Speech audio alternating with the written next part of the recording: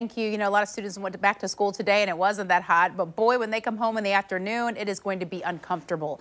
News4JAX reporter Aaron Farrar spoke with Clay County school officials about what they are doing to keep students and teachers cool and healthy.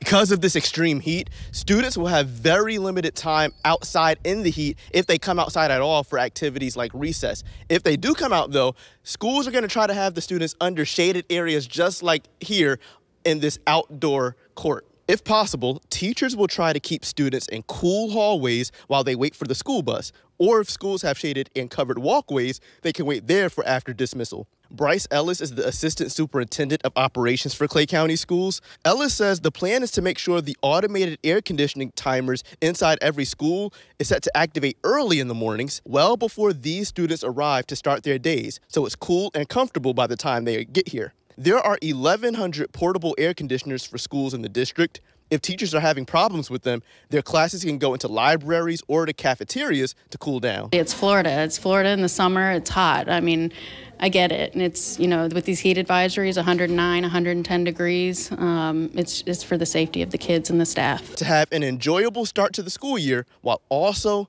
beating the heat. Reporting in Clay County, I'm Aaron Farrar, Channel 4, the local station.